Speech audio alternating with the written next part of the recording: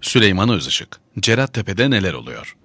Artvin Cerattepe'de maden bahanesiyle başlayan eylemler dinmiyor. Dinmiyor çünkü birileri gezi ruhunu bu kez Artvin'de canlandırma gayesiyle eylemcilere direniş çağrısı yapıyor.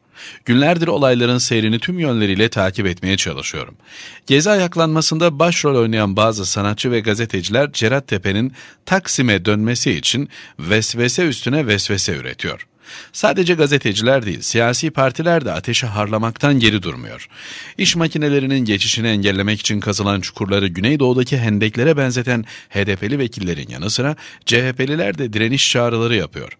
Hal böyle olunca Taksim'de oynanan oyunun birebir aynısı bu kez Artvin'de sahneleniyor.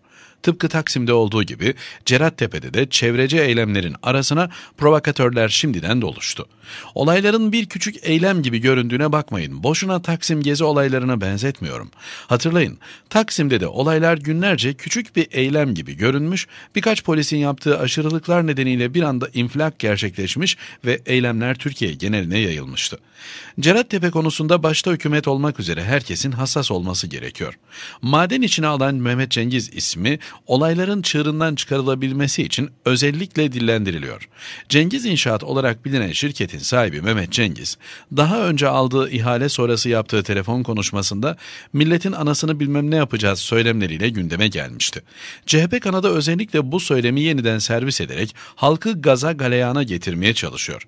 Takip edebildiğim kadarıyla hükümet kanadı Cerattepe'deki olayları şimdilik izleme yolunu seçiyor. Bana göre bu yöntem ülkeyi yeni bir sıkıntının eşiğine getirebilir.